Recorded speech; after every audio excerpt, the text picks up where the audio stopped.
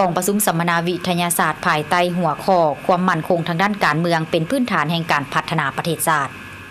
วิทยาคารป้องกันความสงบแห่งชาติจัดกองประสุมสัมมนาวิทยาศาสตร์ ภายใต้หัวข้อความมั่นคงด้านการเมือง เป็นพื้นฐานแห่งการพัฒนาประเทศชาติโดยการเข้าร่วมของทานพลจตวาวันสมศรีสมบัติ หัวหน้าอำนวยการวิทยาคารป้องกันความสงบแห่งชาติมีหัวหน้าสถาบันการเมือง และการปกครองแห่งชาติ หัวหน้าการทหารวิทยาคารป้องกันชาติไก่สอนพรมวิหารอำนวยการวิทยาคารตำรวจประชาชนนักวิทยาศาสตร์ และพนักงานนักหบกำลังป้องกันชาติป้องกันความสงบเข้าห่วมท่านพลจตวาวันสมศรีสมบัติได้กล่าวว่า ความมั่นคงด้านการเมืองของชาติแมนหมายถึงความมั่นคงในระบบการเมือง ของระบอบประชาธิปไตยประชาชน ที่มีพักกับอำนาจที่เข้มแข็ง มีกงจักอำนาจรัฐเคลื่อนไหวมีประสิทธิภาพและประสิทธิพล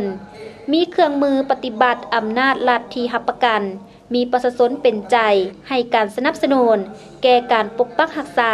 และพัฒนาประเทศชาติพักประชาชนปฏิวัติลาว ถือความมั่นคงด้านการเมืองของชาติเป็นปัญหาสำคัญในการพัฒนาเศรษฐกิจสังคม มาติกล่องประสุมใหญ่ของพรรคได้ยั่งยืนว่า การสร้างความมั่นคงให้แก่รัฐประชาธิปไตย แมนต้องสร้างให้เป็นรัฐที่ปกครองด้วยกฎหมาย และต้องดำเนินไปบนพื้นฐานยึดมั่นหลักการที่ว่าพักนำพา และกรรมอำนาจตามกฎหมาย รัฐคุ้มครองสังคมด้วยกฎหมาย ประชาชนเป็นเจ้าเสมอภาพต่อหน้ากฎหมาย การสร้างความมั่นคงด้านการเมือง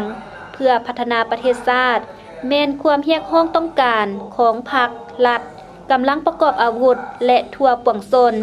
การสัมมนาในหัวข้อดังกล่าวนี้มีเนื้อในเลิกเซิงกว้างขวางความเอาลายคงเขต การประกอบคำเห็นแสดงทัศนะของนักวิทยาศาสตร์อย่างมีหลักการ มีวิทยาศาสตร์ และแทศเหมาะตัวจริง จะประกอบส่วนสร้างความมั่นคงยืนยงให้แก่รัฐประชาธิปไตยประชาชนก้าวเดินสู่จุดหมายสังคมนิยมอย่างนักแน่นกองประสุมวิทยาศาสตร์จะได้ค้นคว้าลงเลิก สร้างความกระจ่างแจ้งทางด้านวิทยาศาสตร์ เกี่ยวกับเวียกงานความมั่นคงด้านการเมือง เป็นพื้นฐานแห่งการพัฒนาประเทศชาติเพื่อตอบสนองให้แก่ความเรียกร้องต้องการใหม่ ในยุคแห่งการเสื่อมโยง และการปฏิวัติอุตสาหกรรมครั้งที่4เนใส่ปกป้องความเป็นเอกราชแห่งชาติอำนาจอธิปไตยพื้นแผ่นดินอันครบถ้วนของชาติ ปกป้องผักหลัดประสาชนและระบอบสังคมนิยม ปกป้องภารกิจการเปลี่ยนแปลงใหม่ และผลประโยชน์ของชาติของเผ่าให้มั่นคง